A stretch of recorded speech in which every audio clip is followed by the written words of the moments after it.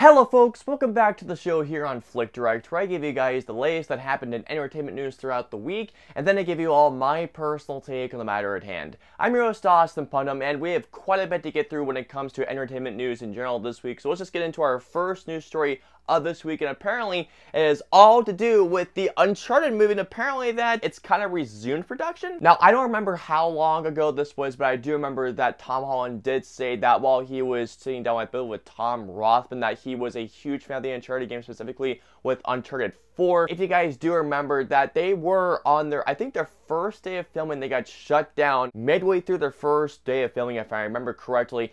And now, supposedly, from what I've been hearing, they're resuming filming, although that's not the case. What I'm hearing is the actual story is that it's just Tom Holland is working out with Mark Wahlberg, to which, if you guys do remember correctly, Mark Wahlberg was cast as the younger version of Sully from the video games. Mark Wahlberg, if you have seen what he does in terms of working out, I mean, if you guys don't know his workout regimen, apparently he goes to bed between 7 to 8 o'clock at night and wakes up at 3 a.m.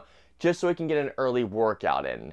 This man is insane. And knowing that Tom Holland is doing this with Mark Wahlberg, like I said, that's commitment. Also, I feel like I should probably add that Ruben Fleischer is apparently the film's director now. I'm kind of mixed on Ruben Fleischer directing this film. I mean, I loved his work on Zombieland. I didn't love Zombieland Double Tap. I thought it was a really fun movie, but not nearly as good as the original. But besides those two movies, I mean, Venom wasn't a fan. 30 Minutes or Less was fine and I couldn't really get through Gangster Squad. I really don't know how I feel about this, although I've been hearing the script is actually great, so we'll just have to see. But I'm still excited for this movie nonetheless. Hopefully it can actually be a very good video game adaptation, I'm praying. I mean, if they mess up Uncharted, don't you dare. Alrighty guys, so coming up onto the next news story of this week, I'm not gonna lie, I saw this headline and I got immediately excited. But anyways, getting on to the point, as you all know, due to the coronavirus, many films have either been delayed indefinitely, have either been scheduled to come out next year, or they've been hitting streaming services such as Netflix, Hulu, Amazon Prime, and also HBO Max. And speaking of Netflix, apparently Netflix apparently has committed to their biggest budgeted movie at the moment, and that is a new Russo Brothers film called The Gray Man, from what I saw, and apparently it's starring Chris Evans and Ryan Gosling. Holy sh! So I'm not gonna lie to you guys, I really don't know anything about The Gray Man in terms of its plot or the synopsis. All I know are three things. The Russo brothers are directing it. I mean, their name alone should get you guys excited. I mean, if you guys didn't love Endgame, Infinity War, or their work and just in general in the MCU. I don't know what to tell you guys. And Chris Evans and Ryan Gosling.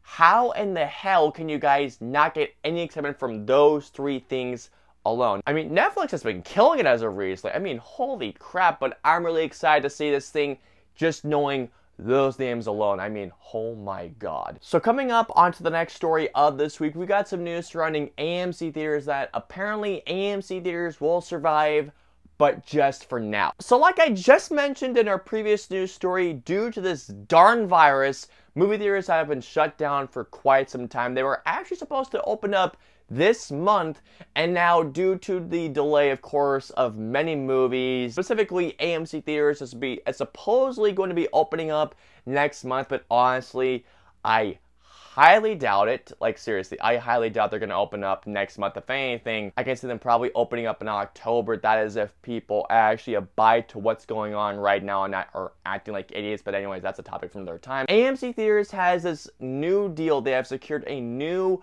credit deal for their debt and that apparently if they don't reopen for quite some time, at least until 2021, I think until midway through, they'll be fine. Now, from my in the story is this, AMC Theaters is still in trouble. They're still not out of the woods yet. They're still in deep, deep waters. However, with this new deal that they have managed to acquire, that they have managed to negotiate, they will be okay. They're not out of the woods. They're going to be fine. But just for now, until I believe it was mid 2021, it makes me hopeful that they can survive during this pandemic. I mean, I think this pandemic will start to get better maybe by the end of this year, maybe by spring of next year, but I am praying, hopefully, by the end of this year because of how things are going right now. I am praying that AMC theaters will survive because I love AMC so much. They provide some of the best experiences with D-Box, D-Box. I haven't done D-Box in a long time. What the hell am I talking about? But with things such as Dolby and especially with IMAX, I mean, I love going into that IMAX theater at AMC so much. But anyways, I'm really hoping that AMC can survive all of this. So getting on to our second to final news story of this week, we got some news surrounding New Mutants. So New Mutants, I feel really bad for this movie. The New Mutants is a movie that I think we can all say is just cursed, it's haunted, because this movie was supposed to come out such a long time ago. And as you all know, Comic Con is happening very, very soon. Well, Comic Con at home, I should probably say. And from what I've been hearing, there is a story out there that New Mutants is going to have a Comic Con panel for Comic Con at home. And from what I've been hearing, there's a new trailer out. The question I ask is right now, what do we think is going to happen with the New Mutants panel? I mean, I'm hoping to God that they just drop New Mutants on Disney Plus. I mean, it's been delayed so many times, and I know it's supposed to be coming on August, but let's be real here. Due to everything happening, I don't think it's gonna happen. So honestly, dropping it on Disney Plus really seems like the best course of action to go. I'm really looking forward to this panel, and I really do hope that they say, okay, we know we've been waiting for this film long enough. We're gonna drop it on Disney Plus like today at this point, and that'll make me happy. If so, I mean, I've been waiting for this film for so freaking long, and if they drop it on Disney Plus, that'll be a bombshell of an announcement, a really good bombshell, should I add? So praying for it. All right, so moving on to our last news story of this week. As you guys can probably tell, I'm a bit bummed, and I hate to have our final news story of this week be a bummer, but I saw this and I just had to talk about it. So I'm pretty sure I could speak for the world, or for most of us, I should say, when I could probably say that we love Deadpool. Deadpool is one of the most beloved characters of all time. The first Deadpool movie I absolutely loved. And Deadpool 2, I thought was a great sequel. Didn't quite reach the heights the first one, I thought, but it came really, really close. And of course, as you could probably imagine, ever since Deadpool 2 came out, we have all been wondering how Deadpool is not only going to go into the Marvel Cinematic Universe, but how it's also going to be a X-Force movie.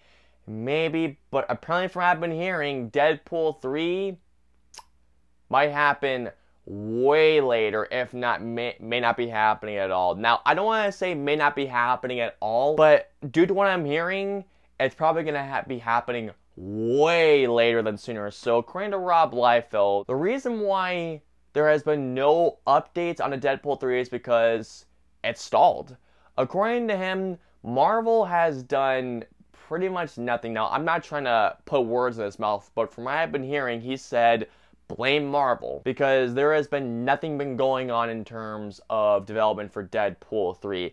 Nothing has been going on, and apparently, according to what he's been saying, no updates have been happening because Marvel apparently has not been working out. Now, I'm not trying to put words in his mouth. Once again, I'm paraphrasing what he's saying. But according to Rob Liefeld, Marvel has stalled on a Deadpool 3. It sucks that they've stalled Deadpool 3 if that's the case. It really does because I really, I really do want to see how Deadpool would be integrated into the MCU. I mean, and plus, please Marvel make it rated R. Please, we don't. I, I'm pretty sure fans. I cannot speak for all the fans out there, but I am pretty certain that fans do not want a PG-13 Deadpool. I really do hope that Deadpool 3 goes somewhere at some point in time. Alrighty guys, and that is going to do it for this week's show. Please comment down below and let me know below how do y'all feel about the Uncharted movie resuming shooting very soon. Also when it comes to the new Russo Brothers Netflix movie starring Chris Evans and also Ryan Gosling. Also, I want to ask how you guys feel about Deadpool 3 being stalled. Are you guys pissed about this or do you think maybe it's the best possible option for this movie for the time being? Also,